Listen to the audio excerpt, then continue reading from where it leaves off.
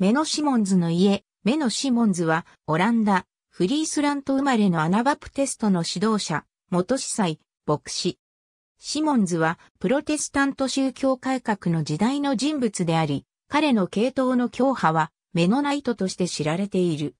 シモンズの誕生の地は15世紀から16世紀にかけての戦争で破壊された。彼の両親と幼年期については全く知られていない。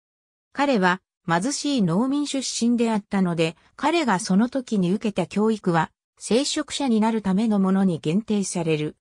1524年、ユトレヒトにおいて、カトリックの司祭として除会され、父の村の神父となる。1526年から1527年に、硬い説の教理に疑問を持ち、聖書の研究を始めた。そして福音的人道主義者と呼ばれる立場に至った。シモンズは聖書を調べて、幼児洗礼の根拠が聖書にないと確信した。この問題について彼は、恐怖の文書を研究し、マルティン・ルターとハインリヒ・ブリンガーの著書を読んだ。そして信仰者のバプテスマを教えるようになった。1535年にアナバプテストのグループの中にいた彼の兄弟が殺害された事件が起こった時、彼は霊的、精神的な危機を経験した。ため息と涙を持って神に祈る。主は私に与えてくださった。悲しむ罪人に。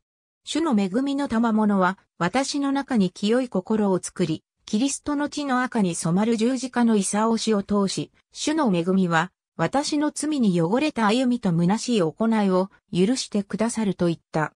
1536年1月にカトリック教会とその聖職を拒み、アナバプテストに行った。バプテスマを受けた日付は判明していないが、1536年10月までには、彼はアナバプテストとして有名であった。メノナイトの語は、オランダのアナバプテストを指して使われた。1561年1月31日に、ホルシュタインで昇天し、遺体は庭に埋葬された。彼は、ゲルトルードという女性と結婚し、娘二人、息子一人を設けた。メノシモンズがアナバプテストに与えた影響は非常に大きいものであった。バプテストの歴史家、ウィリアム・エステップは、バプテストの歴史を3期に分けた。メノシモンズ以前、メノシモンズの下、メノシモンズ語である。彼は、困難な時代にアナバプテストの働きを維持しただけでなく、根本的宗教改革を確立し促進させた人物として重要である。